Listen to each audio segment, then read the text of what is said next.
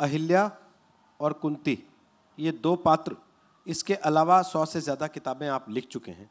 कौन से ऐसे पात्र हैं जो आप वर्तमान समय में, समाज में ज़्यादा मौजूद पाते हैं? जिनको आपको लगता है कि असल में ये है, सामने ही है मेरे। इसलिए मुझे मजबूरन इसको लेके आना पड़ा निकाल के कहीं किससे कहानी में से पुराने।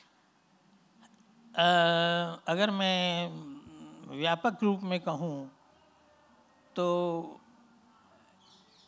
जितने भी महत्वपूर्ण, बहुत छोटे पात्र भी होते हैं, साधारण, जो कि चार पृष्ठ तक आए और अपनी बात कह के चले गए, उनकी बात नहीं कर रहा हूँ।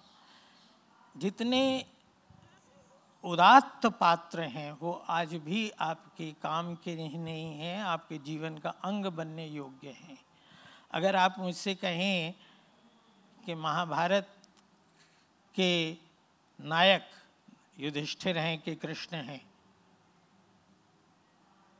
तो मैं ये कहूँगा कि महाभारत एक ऐसा ग्रंथ है जिसमें हर खंड में नया नायक आ जाता है। हम्म। अगर लड़ाई करनी है तो भीम आ जाएगा। और वैसे धर्मराज युधिष्ठिर उसके नायक हैं पर कृष्ण जहाँ आ जाते हैं वो नायकों के नायक हैं। वहाँ युधिष्ठिर भी उनके सामने हाथ जोड़ के खड़े हो जाते हैं। उसी तरह से अगर आप राम कथा को लेते हैं तो राम के सामने मैं कहूँ कि मैं कोई दूसरा पात्र खड़ा कर दूँगा, वैसा नहीं है।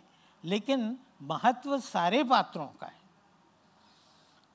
जैसे नाटक आप करते हैं तो एक डाकिया आके आपको एक पत्र देता है और चला जाता है, काम उसका भी है और नायक का भी है। उसी तरह से उपन्यासों में है, छोटे और बड़े पात्र, हर तरह के पात्र हैं।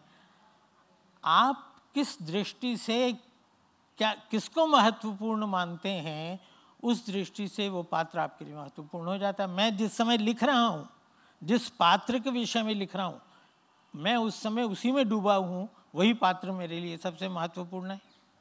लेकिन जब मैं उससे निकल आता हूँ तो दूसरे पात्र में चला जाता हूँ।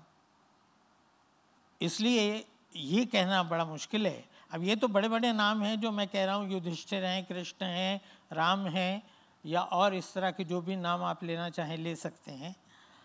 वो सब महत्वपूर्ण हैं और स्त्रियों में मुझे लगता है कि महाभारत में मुझे जिसने सबसे ज़्यादा प्रभावित किया, लोगों को द्रौपदी बहुत प्रभावित करती है, मुझे कुंती ने प्रभावित किया। कुंती ने जितना कष्ट सहा उतना और किसी स्त्री ने, यानी जन्म होते ही बाप ने अपने बुआ के बेटे को दे दिया। वहाँ ऋषि महोदय आ गए। वो छोटी सी थी तो उसकी शादी हो गई। पति नपुंसक मिला। पाँच पाँच पुत्रों को पाला।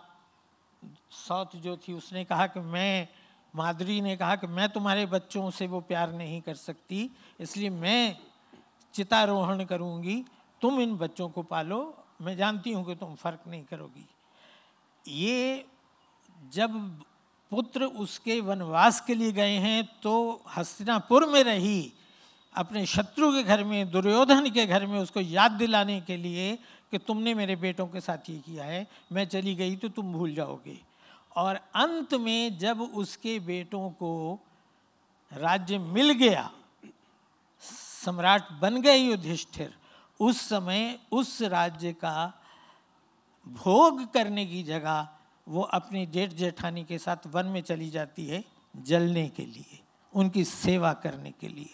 तो ये तो मैं मोटे तौर पर बता रहा हूँ, और अगर आप सूक्ष्मता से जाएँ तो देखें तो कुंती ने कष्ट ही कष्ट सहा है, और उतना उतनी जिसको हम कहें कि, क्या कहूँ, शब्द आप उसको अटपटा अटपटाना माने तो इतना पुरुषार्थ, इतना पुरुषत्व शायद युधिष्ठिर में भी नहीं था, जिसको वो बार बार कहती है कि शत्रुओं को प्रसन्न करने वाला पुत्र मत बन, जा युद्ध कर ताकि तेरी माँ प्रसन्न हो सके। ऐसी दूसरा दूसरा चरित्र नहीं है।